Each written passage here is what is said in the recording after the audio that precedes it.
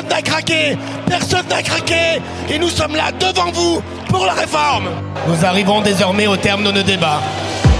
Les dispositions de la Constitution, dans son article 47-1, et de la loi organique, dans son article 111-7 du Code de la sécurité sociale, prévoit que l'Assemblée nationale doit se prononcer en première lecture dans le délai de 20 jours après le dépôt du projet de loi de financement de la sécurité sociale. C'est donc dans le respect de la Constitution que nos débats doivent désormais prendre fin. Ce délai s'achève ce soir. Les 20 500 amendements déposés par la NUPES auront empêché notre Assemblée d'achever l'examen du texte au terme de 9 jours de séance et 73 heures de débat. Le gouvernement ne peut pas prolonger l'examen du texte sans réduire le temps que le Sénat doit avoir.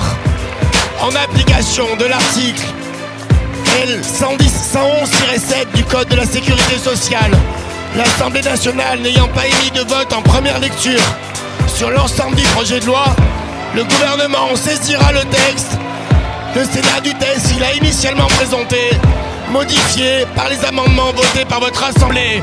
Mesdames et messieurs les députés insoumis, vous m'avez insulté 15 jours. Vous chantez, mais vous m'avez insulté. Personne n'a craqué, personne n'a craqué. Et nous sommes là devant vous pour la réforme. La République, c'est moi C'est moi qui suis parlementaire Poussez-vous là, nous avons cette force Et personne n'a craqué, personne n'a craqué. Et nous sommes là devant vous pour la réforme.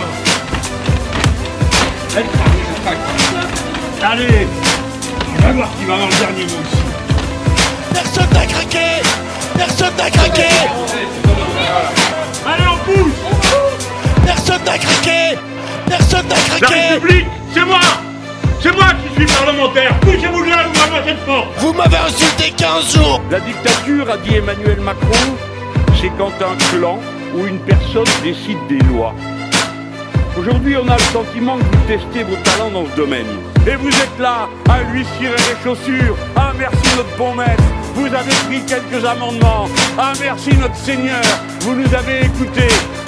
Cette ultime mesquinerie est la signature de cette équipe. Personne n'a craqué Le 49.3 chez eux, ce n'est pas un article de la Constitution, c'est une profession de foi. Que dis-je en code génétique? Et s'ils cherchent un responsable, dites-leur, dites-leur chaque jour, vous l'avez devant vous. Le seul responsable de cette affaire, c'est moi. S'ils veulent un responsable, il est devant vous. Qu'ils viennent le chercher.